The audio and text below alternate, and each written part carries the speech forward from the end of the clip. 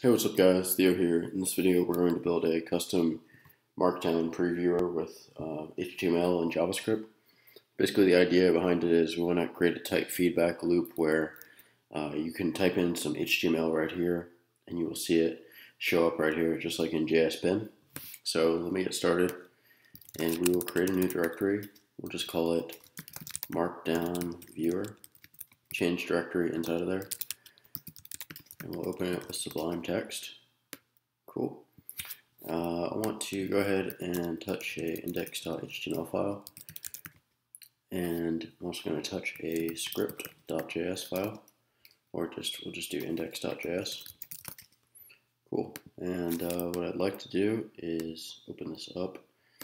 I want to open it with Chrome. Cool. So that's what we're going to look at. So now let's get to the meat and bones of this. Build out a little skeleton here. HTML5 we'll say markdown previewer. Again, it's going to be pretty bare bones. Uh, we'll add a little bit of CSS. Let me just do styles.css. Cool. And let's go ahead and put in our style sheet, styles.css. And we also want to put in uh, the index.js script. So say index.js and I want to write a little bit of code in here. So I'm just going to say um, window.onload and all I want to do inside of here is just make sure we've loaded. DOM has loaded. Okay, cool. So let's make sure this works. Let me inspect this real quick. DOM has loaded. Cool. So now we can execute our code in here. And all right, so I want to build out two containers. This will be the container, or rather the HTML container. Inside here, we're going to have a text area. Okay, and here we are going to have a div with a class of uh, results, right? So let's look at this. And we, should, we shouldn't have anything yet but a text area. So let me go in here, write a rule for HTML container. It's going to have a width of 400 pixels, a height of 600 pixels, a border of 2 pixels solid red. Let's make sure that looks alright. Okay, cool. And let me grab my text area. So I will say width is 100%, resize is none, sure that looks good. We'll do overflow hidden on this container. Cool. And we'll give this a height of 100% as well. Or sorry, not, I mean on the text area. Height of 100%. There we go. So that's filling up that whole area. Um, and I'll just put a very simple uh, H1 here. Basically just saying HTML. Cool, so that's our HTML and results. It'll be a very similar thing. Let me change this out here. We'll do, make it width of 250 instead. Or let's do 300. Okay, so we got 300 right there. And uh, next thing that I would like to do, I'd also want to create a button. And you can do this many different ways. And this is just going to be compile HTML. Um, and then what I want to do uh, also is my results container right here. So I'm going to say dot results. I'm going to give this the same thing, same properties. So I guess I can, want to give it the same? Yeah, we'll just give it the same thing. So we'll do dot results. Okay, and we need to change one more thing. We'll do display inline block. Sure these are side by side. Cool. And um, let me think. Where is this button? We can do. So the button is after that. Compile, and maybe we'll do this actually. We'll put it right after the text area. Okay, and let me make sure. I'm gonna find out where it went button. Okay, it's there, but it is hiding because, yeah, overflow hidden. So let me do this. We'll do give this a height. Yeah, I think I know what's happening. 600 button display inline block height 30 pixels width 40 pixels and why is it not showing up? I guess because it's yeah it's overflowing there. Okay, let me just yeah I'll just get rid of the overflow hidden for now. All right, let me go back in here, change that, go back here, and let's think what else is wrong with this. And I need to do, I'm to do one more thing. I'm to put on the body itself, display, flex, justify, content, center. Cool. Um, and what else do I need to do? I want to do, actually I want to justify content space around.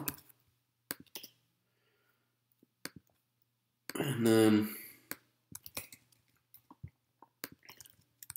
put that in there. Okay, HTML. And then what else do I want to do? I'm going to take off that border. HTML, cool, that's fine. And then we'll just put results right here. H1 results. Okay, cool. So now what we can do is uh, basically we're going to listen to, or we're just going to compile this. So let's try this out. So we can say const compile markup, very simple function. And what we're going to do is we're going to grab this, so we're going to say const uh, markup equals document dot query selector text area dot value.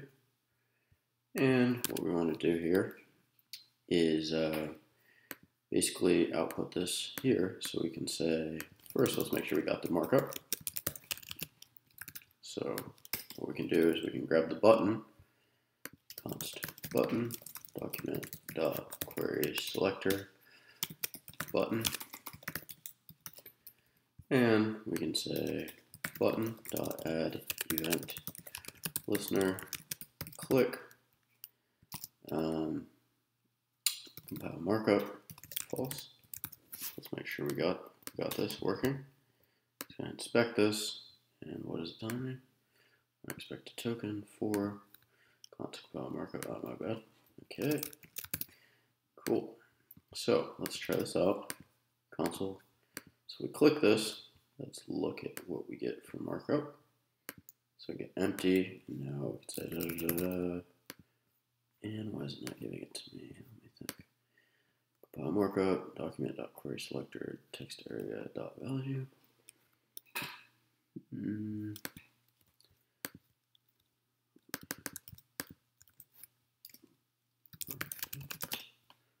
Okay, maybe because I'm grabbing it after.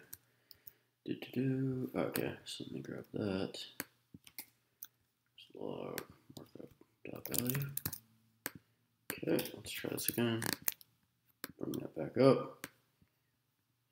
Telling me? Unexpected token.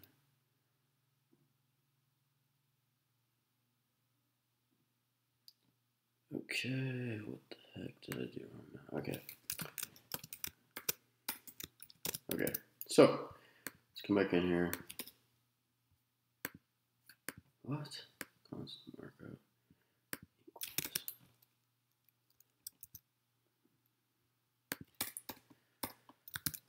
Okay.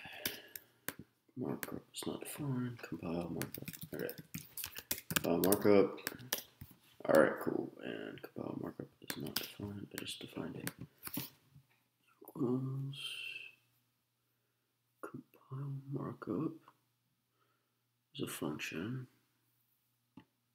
Oh, alright. Alright, cool. So, uh, let's look at this now. Here we go. Markup is not defined. Ah, okay.